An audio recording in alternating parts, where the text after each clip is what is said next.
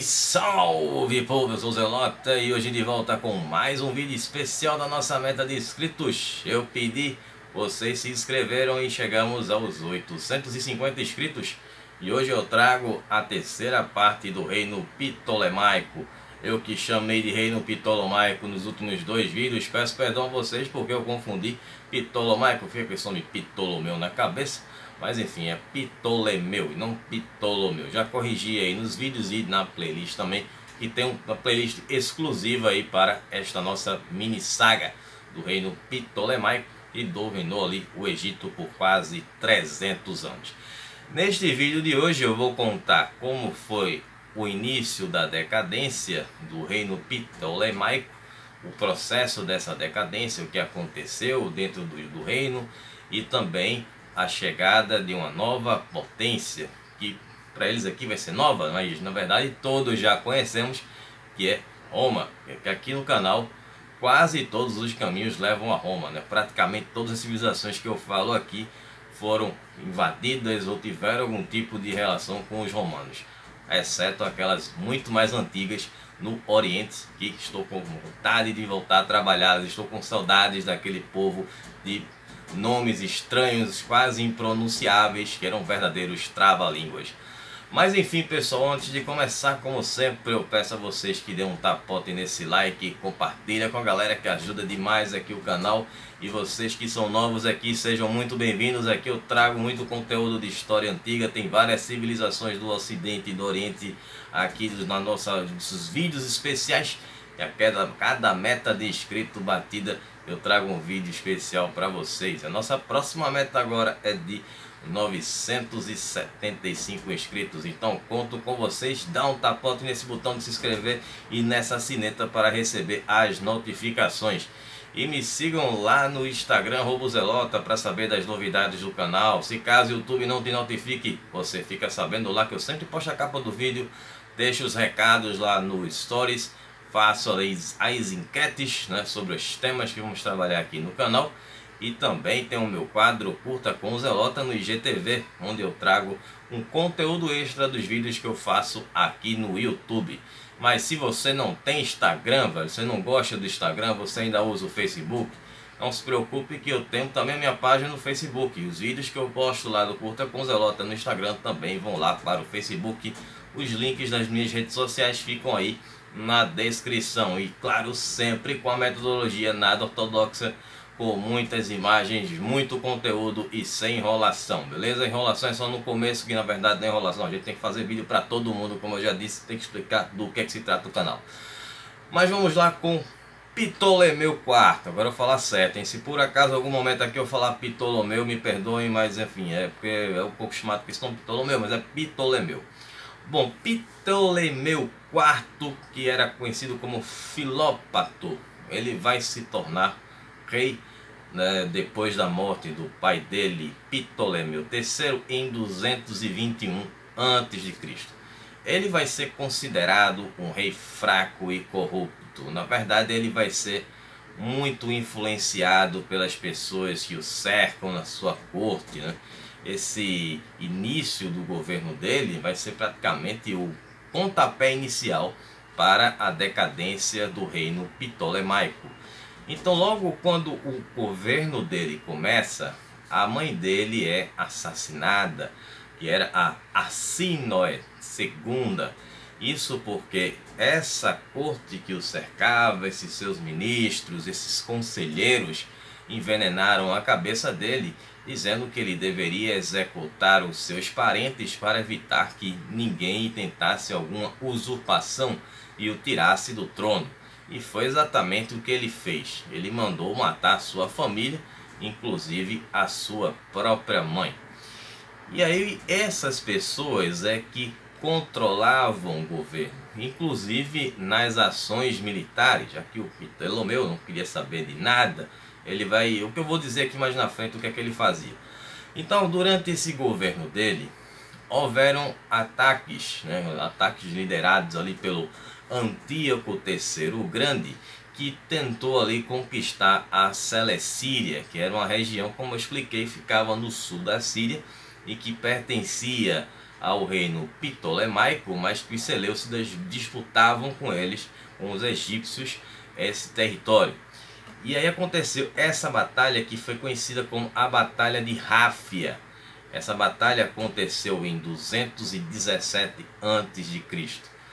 O Antíoco III ele tinha um número muito maior de soldados, de infantaria, de cavalos, de arqueiros, de elefantes, enfim, que eram utilizados ali. O pessoal gostava de usar elefante na guerra, né? Era o tanque de guerra daquela época. E também o, o todos os outros as, as outras artefatos que tem no exército, enfim. Então ele tinha a maioria, porém os egípcios conseguem vencer essa batalha, que ficou marcada aí com essa vitória e foi comandada por esses ministros aí do Ptolomeu IV. E aí durante 20 anos desse seu governo, conta dessa questão dessa corrupção, desses ministros dele, vai acontecer uma revolta da população egípcia que vai começar a mandar em algumas partes do reino ptolomaico, ptolemaico, tem que ficar me corrigindo aqui, é, e vão ser lideradas por um, um líder que era um cara da Núbia, porém o nome dele não é citado aí nos textos. E aí o Egito, né, vai ser totalmente aí fragmentado com essa revolta e isso só vai acabar no reino seguinte. Eu claro vou falar aqui a história desse reino. Bom, o que é que o Ptolemeu IV fazia? A vida dele era totalmente dedicada à religião helena. Então ele não era adepto a, no caso, a religião egípcia, como seus antecessores estavam seguindo ali e ele também era muito dedicado à literatura. Então, governar, nada. Então, ele vai casar-se com a sua irmã, que era a Arsinoe III. E ele também vai ter um amante. Isso aí foi o primeiro que pulou a cerca nas histórias aqui, que se chamava Agot Agoteclea. Agoteclea seria o nome dessa amante. A gente sabe se ele teve filhos com ela, mas com a irmã dele ele teve. Enfim, toda, toda mulher aqui que eu falar que é esposa de algum desses reis são irmãs e esposas. Então a situação aqui na frente vai ser tão complicada de explicar que eu já estou até meio tenso aqui. Bom, ele morreu em 205 a.C. E Arsinoe III também foi assassinada pelos seus conselheiros que depois foram linchados pela população. Mas essa história eu vou contar com detalhes lá no História com Zelota, no Curta, pô, História Zelota é aqui, velho, lá no Instagram do Curta com Zelota, lá no IGTV, então vou trazer esse, essa história aqui com um conteúdo extra lá no IGTV, beleza? Também vai estar tá no Facebook. Bom, então quem assume agora no lugar dele é o filho dele, Ptolemeu V, que era o Ptolomeu V Epifânio. Ele era filho do Ptolemeu IV e de Assinoé III. Ele vai se tornar rei com 5 anos de idade, ou seja, o começo do seu reino vai ser governado por regentes, já que ele só tinha 5 anos, claro. E aí Antíoco III de novo, grande imperador da Síria, ele resolve aproveitar-se dessa situação de que o rei era um menino de 5 anos, era um governo regencial e vai fazer uma aliança, formar uma aliança com Felipe V da Macedônia. Lembram dele lá da playlist que eu fiz dos vídeos sobre a queda da Macedônia com o domínio romano, Felipe V que foi pedir socorro aos romanos também. Enfim, essa história, quem não viu, dá uma chegada nessa playlist, eu vou deixar o card aqui em cima, confere lá para saber um pouco mais sobre Felipe V da Macedônia. E aí a ideia dos caras era a seguinte, tomar os territórios que pertenciam ao reino ptolemaico. E aí Filipe ele consegue conquistar algumas ilhas e alguns territórios que ficavam na Cária, né, que é na Ásia Menor, e também na Trácia, que é uma, uma província, uma antiga província romana que eu contei a história desse povo também em um dos vídeos especiais que eu trouxe aqui da saga provinciana. Bom, então Antíoco III ele consegue finalmente conquistar a Celecíria, que era o grande objetivo dos Seleucidas após a batalha de Pânio, e ele anexa a Selecíria ao Império Seleucida.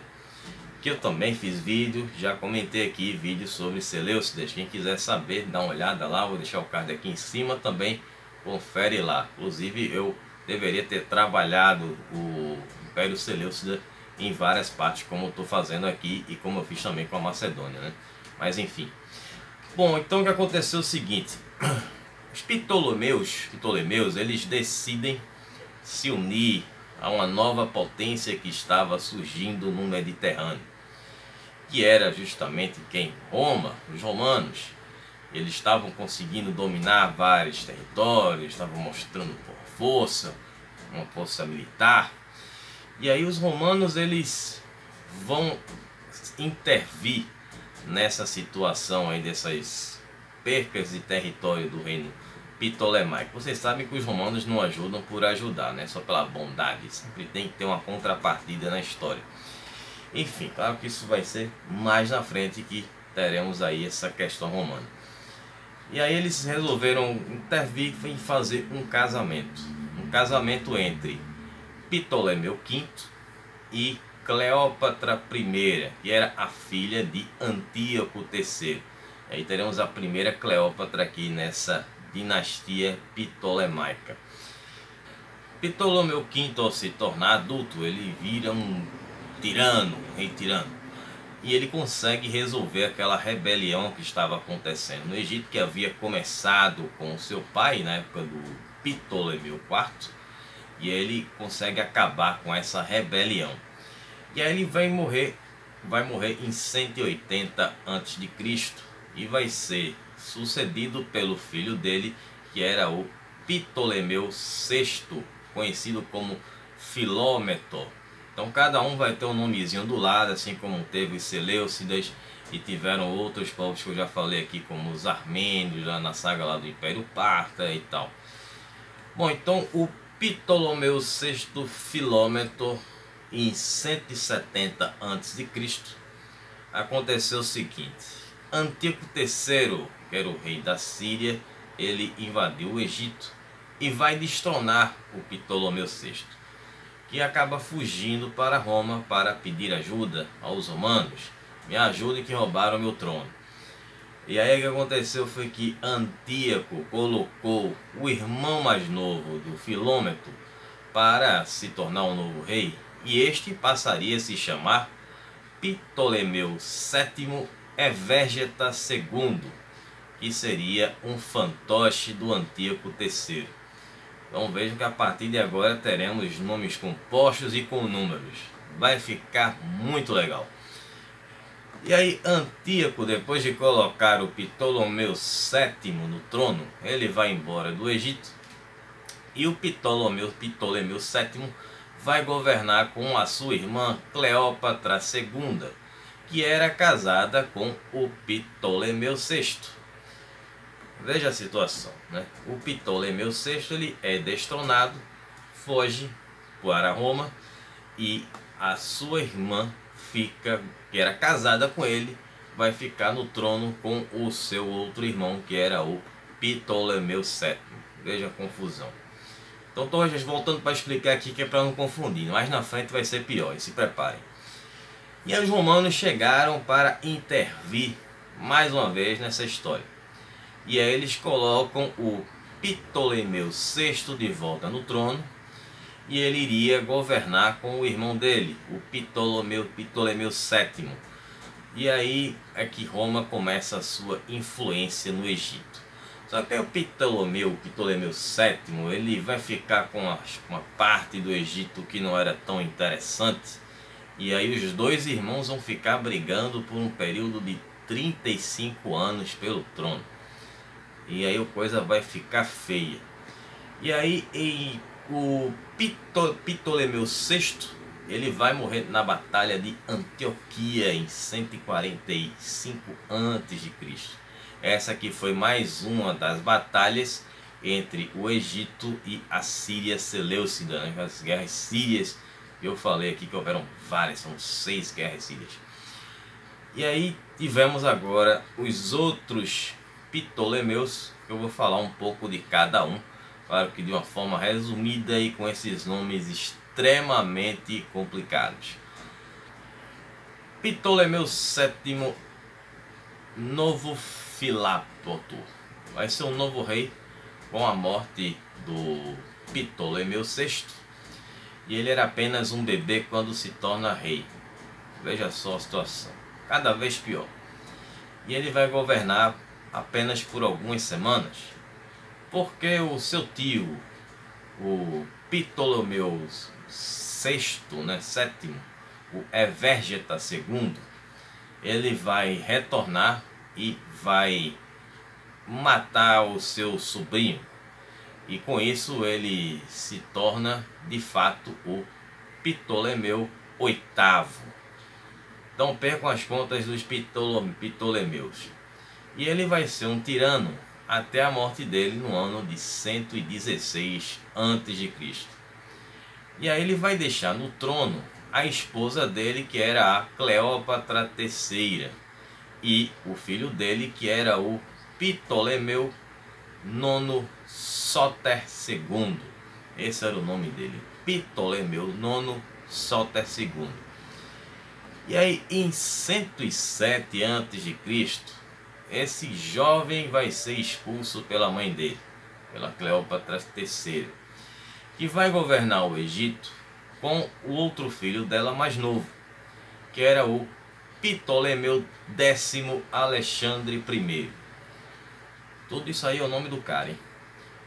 E aí no ano de 88 a.C., Ptolomeu IX, ele retoma o trono e governa até a morte dele no ano de 80 a.C. Consegue ficar aí oito anos no trono.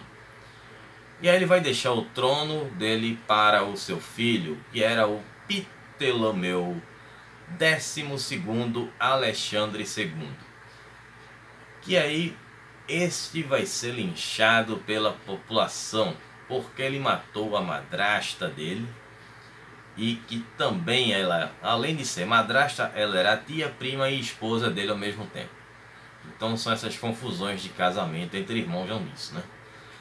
Enfim, então com essa situação aí, vamos ter essas disputas pelo trono que vão fazer com que o Egito ptolemaico se enfraqueça. Então, além das invasões externas, as disputas com o Império Seleucida e ali rapidamente com a Macedônia, é, e essas disputas internas fazem com que o reino ptolemaico se enfraqueça. Agora continuando nos Ptolemeus, Ptolemeus, o nomezinho chato. Ptolemeu XI, que havia sido linchado pela população ali, pelo, pela sua corte alexandrina, vamos já chamar assim, porque tem esses Alexandre I, II, enfim.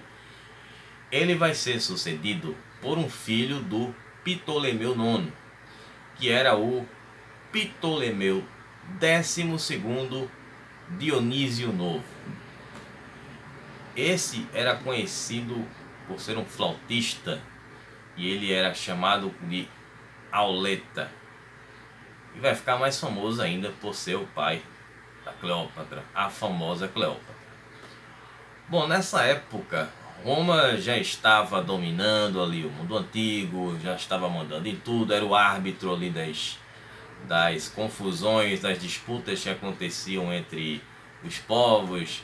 Sempre que havia esses impasses, essas guerras, alguém ia lá pedir ajuda aos romanos, os romanos ajudavam e depois tomavam o território de quem eles ajudavam. Era sempre assim. E o outro também que era derrotado. Pegava tudo de todo mundo. Era sempre assim.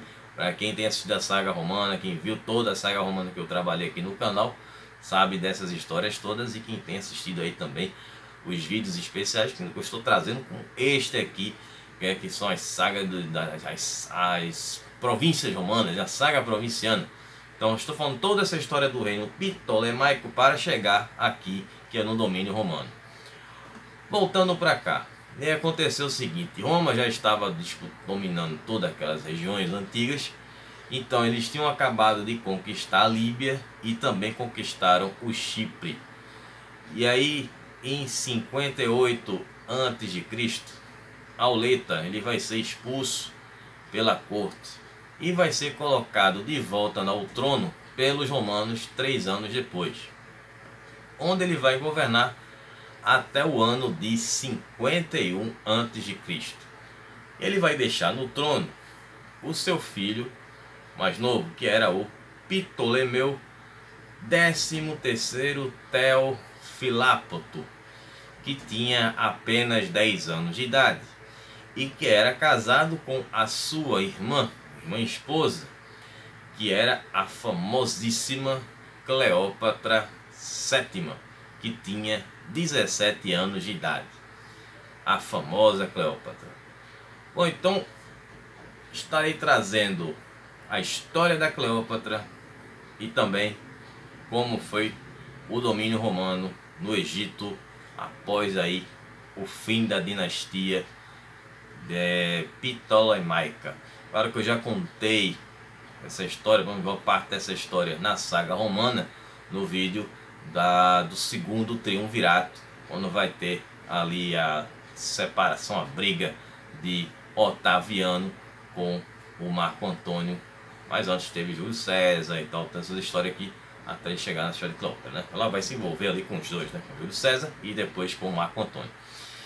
Até a Batalha do Ácio, que vai ser o ponto decisivo ali para o início do Império Romano e também para o domínio romano no Egito.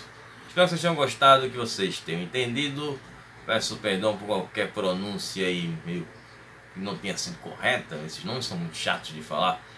E enfim, esses Ptolemeus são muito chatos mesmo. É, são os nomes meio complicados. Claro que eu já encontrei coisas piores aí no Império Parta, Seleucida, enfim. Então estarei trazendo na próxima semana, próxima quarta-feira, aí o vídeo com a Cleópatra e também com o domínio de Roma, que ainda era República Romana. E no sábado estou de volta com a saga bizantina, com a história do Anastácio I, que é o imperador que ficou no lugar do Zenão I, e foi o vídeo que eu trabalhei aí na última semana. E claro, amanhã tem o Curta com Zelota lá no IGTV, contando aquela história que eu falei ali, daquela, aqueles conselheiros que mandavam matar todo mundo. Bom, então vou ficar por aqui. Um abraço do Zelota. Até sábado. Falou, pessoal.